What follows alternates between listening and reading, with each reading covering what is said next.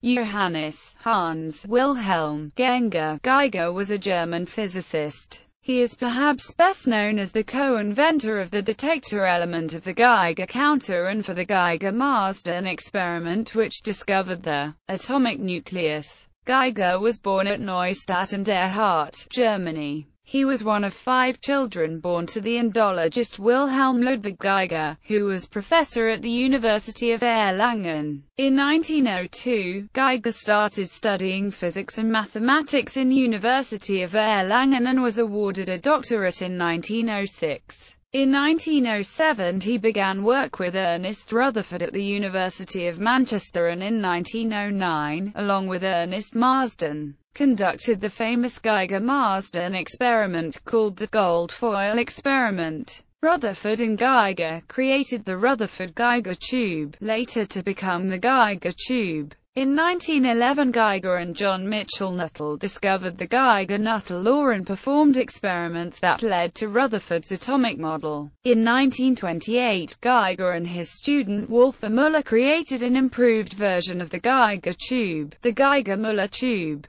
Geiger also worked with James Chadwick. In 1912 he became leader of the Physical-Technical Reichsanstalt in Berlin, 1925 professor in Kiel, 1929 in Tübingen, and from 1936 in Berlin. He was a member of the Uranium Club. Geiger never expressed himself in public about the Nazis. There are reports both about him helping, and rejecting, Jewish colleagues. Geiger died in Potsdam, Germany a few months after World War II ended. He had four siblings, three sisters and one brother that were all younger than him. His brother, Rudolf, was very interested in meteorology and climatology.